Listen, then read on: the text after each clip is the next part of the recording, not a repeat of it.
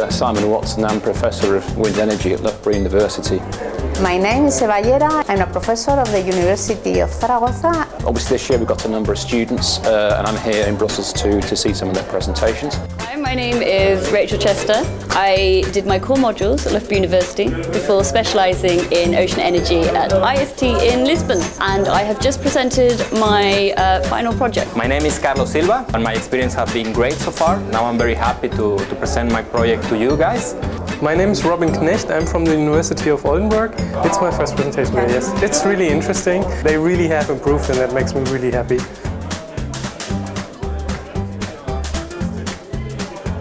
It's uh, very interesting to see how the students have included all the knowledge. They are now uh, able to include uh, all aspects of the sustainability into their analysis. So I feel uh, much relieved as I stand here because I just did my presentation. I'm uh, Laure Doc, I'm a French student of the ZIM uh, Master. You really have uh, a really good support. I can say that it's a pretty intensive program. It's a hard work and uh, you will be very busy. It was really a good start to make the core and the specialization. I'm pretty happy with the program because it gave me the skills to come from a different business sector into the offshore wind industry. The international side of it was uh, really impressive. The majority of the students I uh, work and study with, they come from absolutely all over the world. I do not regret one moment making this choice. The EUREC Masters program, it's tough, but it's worth every penny and time. Because of the very nature of the European Masters, we see that as they go off, do their specialisation and then they do their project, that they do have a chance to develop more, they tend to be more internationalised. You see the, their interest and the questions that they do and it is so obvious to, to me that uh, after some months uh, they will be expert on the questions that they do today.